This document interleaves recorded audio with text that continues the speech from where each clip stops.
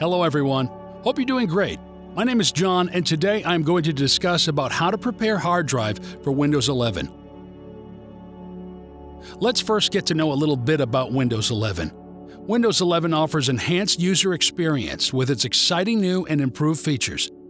Go to their official website now to preview how amazing this new upgrade is. If your device meets the requirements, you can get a free upgrade as well. Coming back to the topic, for those who's trying to replace an old or small hard drive with a new one, or simply want to add an additional new hard drive to install Windows 11, this video guide would be really helpful. What's a hard drive? As you can see, this is the front and back. We install it directly to the disk controller of the computer's motherboard. It's a primary storage device for a computer system. It usually contains pre-installed software applications, the operating system, and other files. All hard drives are found inside a computer case and are attached to the computer motherboard using an ATA, SCSI, or SATA cable. Hard drives are powered by a connection to the PSU, power supply unit. Connect the hard drive. Here, I've used SATA cable to install the new hard drive into the computer. Part 1. Locate the hard drive.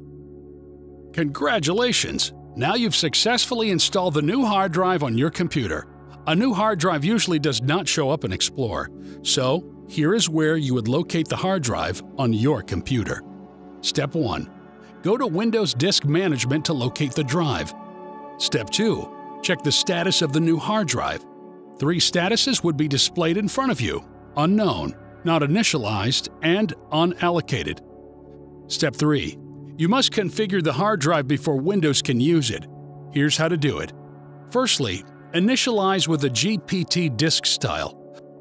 Modern computers use GPT disk style and Windows 11 requires a GPT disk.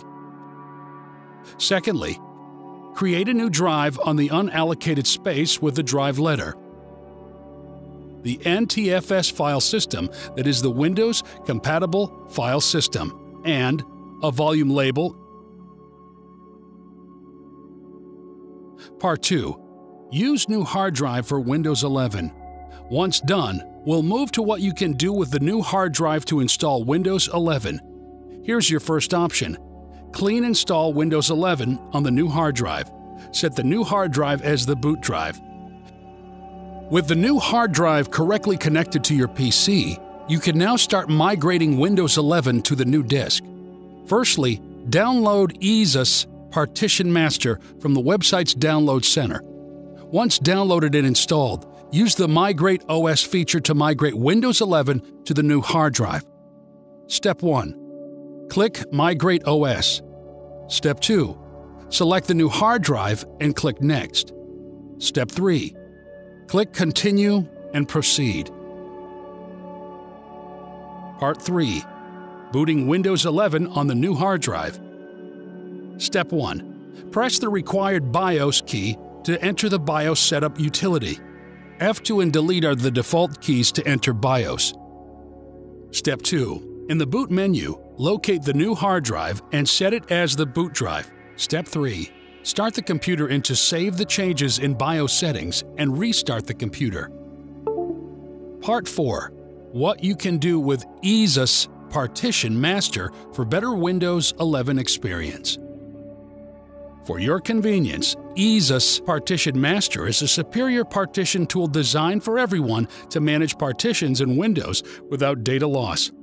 The tool can help you in basic operations like resizing, formatting, deleting, wiping, and merging partitions. Windows 11 PC emphasizes the UEFI secure boot, and UEFI is based on GPT. You may need to convert the system disk from MBR to GPT to support Windows 11 install. So, here were some of the key steps you can take to prepare hard drive for Windows 11, brought to you by the EaseUS. Step 1. Locate and prepare the new hard drive. Step 2. Use new hard drive for Windows 11. Step 3. Boot Windows 11 from the new hard drive. Step 4. Optimize drive with EaseUS Partition Master for better Windows 11 experience. Thanks for watching this video. Subscribe EaseUS for new featured videos. I'm John. See you next time. Bye bye.